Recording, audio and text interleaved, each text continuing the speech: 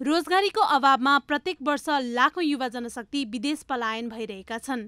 युवा जनशक्ति विदेशिने क्रम बढ्दै गएपछि सरकारले स्वदेशमै युवाहरूको सिप र दक्षताको प्रयोग गर्न भन्दै प्रमाणपत्र धितो राखेर ऋण दिने व्यवस्था गरेको छ। सरकारको नीति तथा कार्यक्रम मार्फत नै शिक्षित बेरोजगार युवाको समस्या समाधानका लागि शैक्षिक प्रमाणपत्र धितो राखेर ऋण दिने कार्यक्रम ल्याइएको हो।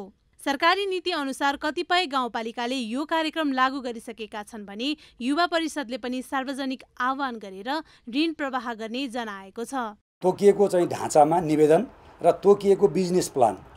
त्यसको चाहिँ हाम्रो एउटा व्यावसायिक योजना छ। त्यो बिजनेस प्लान चाहिँ तयार बनाएर उहाँहरूले जिल्ला युवा समितिको कार्यालय मार्फत वा राष्ट्रिय युवा परिषदमा सिधै पनि उहाँहरूले पेस गर्न सक्नुहुन्छ। पेस गरिसकेपछि त्यो यहाँबाट अध्ययन गर्ने एउटा चाहिँ त्यसलाई छानबिन गर्ने समिति हुन्छ।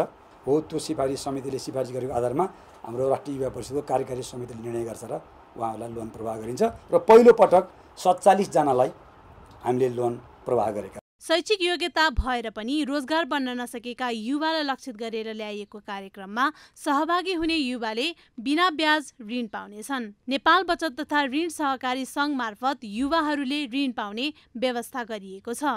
नेपाल बचत ऋण सहकारी सङ्घ लिमिटेड भन्ने छ। हो नेप्सकोन त्यो चाहिँ जुन चाहिँ चौहत्तर जिल्लामा त्यसको शाखा छ। हो त्यो चाहिँ त्यो सहकारी संस्था छनौट भयो। प्रतिस्पर्धाको आधारमा छनौट भयो।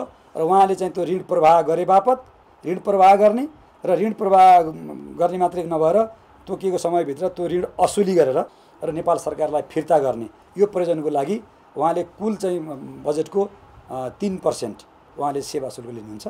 अरू बाँकी चाहिँ साँबा चाहिँ नेपाल सरकारको कोषमा राष्ट्रिय युवा परिषदको कोषमा फिर्ता गरिन्छ अडचालिसजना युवाहरूले शैक्षिक प्रमाणपत्र धितोमा राखेर ऋण लिइसकेका छन्। ऋण लिएका युवाले कृषि र साना तथा घरेलु उद्योग सञ्चालन गर्ने बताएका छन्। क्यामेरामा शैलेन्द्र गोविन्द मात्यका साथ नम्रता बानिया काठमाडौँ।